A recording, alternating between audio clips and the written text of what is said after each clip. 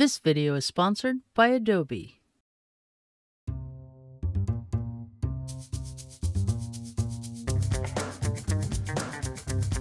Hi, this is Mike Rankin with Creative Pro, and in this video, I'm going to show you a quick way to extract a simple table from a PDF in Adobe Acrobat. So here's my table in my PDF, and I'd like to get this data into Excel. One quick way to do that is to start by taking the selection tool and dragging over the entire table. Then right-clicking and choosing Export Selection As. In the dialog, choose Format, Excel Workbook, leave View Result turned on so the file opens right away, and note that there are some other settings that you can customize here.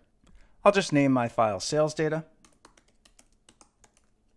and click Save and the file opens here in Excel with my live data. Now, just to be realistic, this was a very simple and cleanly formatted table that originated in InDesign. In some cases like this, you might even be able to just copy the text in Acrobat and paste it directly into Excel.